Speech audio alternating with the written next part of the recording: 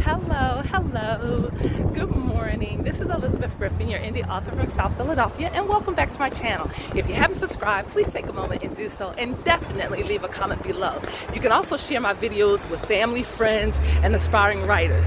Today, I want to talk about a lot of things in a short period of time. I am just excited about the new year, and something that is particular and um, interesting about this new year is that I feel like in my heart and in my spirit that uh, spring is fast approaching. So I feel alive and I feel just uh, the way I did during the summer. So it feels strange and odd if you can understand what I'm saying. But in my spirit, I feel like it's springtime. I feel like um, I can go out jogging in the park. I just, I'm excited about this year and the possibilities and accomplishing so much.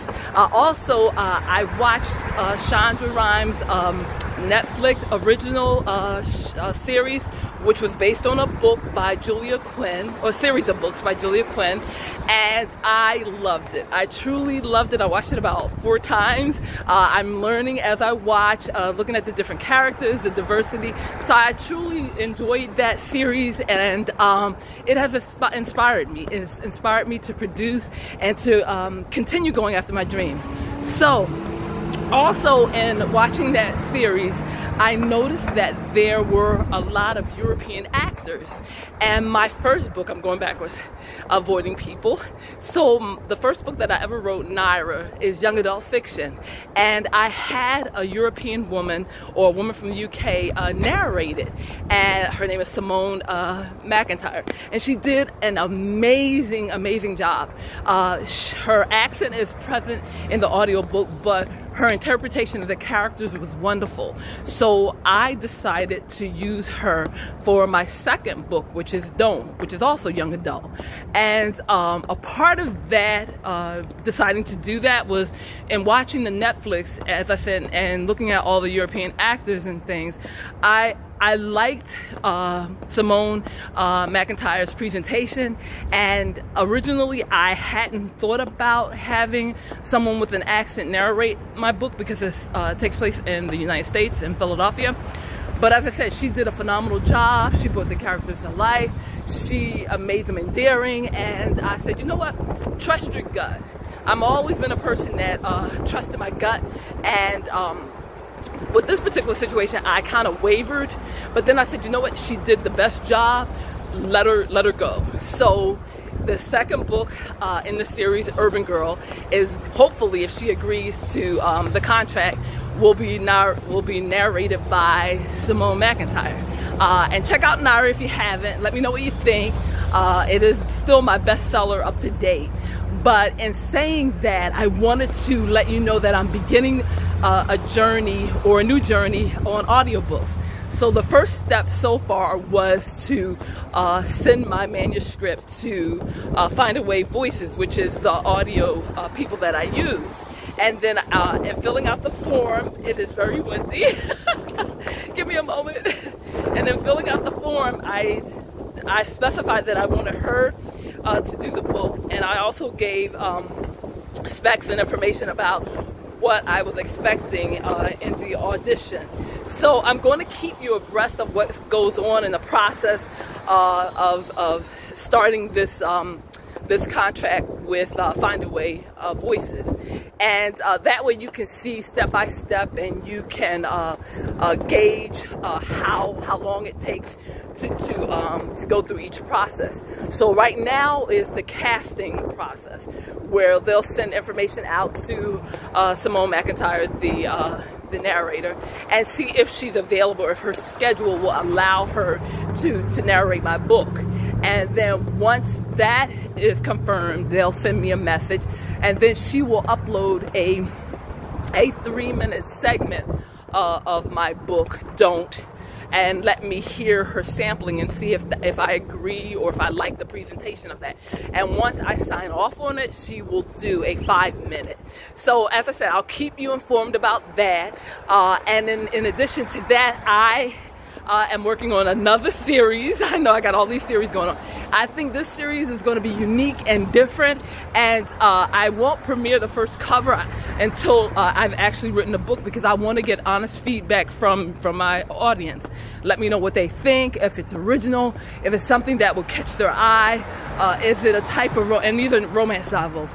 Is this a type of cover and story that is universal, meaning it will um, draw the attention of, of a broad audience? does it have the potential to go mainstream instead of uh, targeting, let's say, the African American audience or or certain smaller uh, audience or demographics? So these are some of the things that are going on in my head. Uh, as I said, I'm truly excited about the new year. Uh, I also made a lot of resolutions, and I'm going to keep them.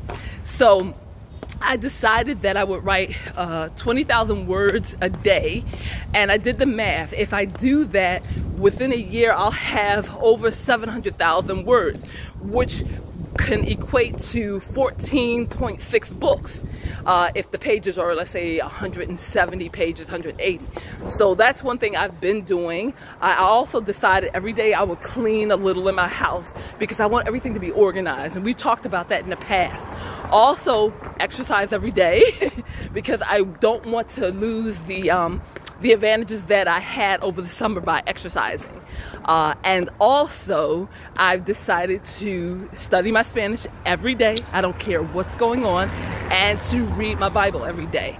So these are New Year's resolutions that I am going to implement, and I'm going to carry them out until the end of the year. And I just want to see the growth. I want to see the progress. I want to see how far I can go and how much I can achieve in a year if I stick to it and don't give up.